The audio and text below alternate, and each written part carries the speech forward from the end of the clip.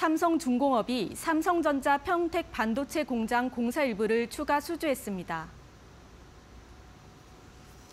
계약 금액은 1,683억 원으로 지난해 매출액의 2.5%에 해당하는 규모입니다.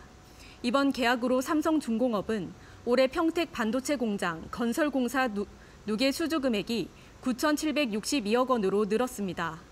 평택 반도체 공장은 삼성전자가 289만 제곱미터 면, 면적 대지에 오는 2030년까지 단계별로 반도체 생산 라인 6개 동과 부속동을 구축하는 사업입니다. 삼성중공업 관계자는 조선해양회 부분에 사업 다각화 기반을 튼실히 다져가고 있다고 전했습니다.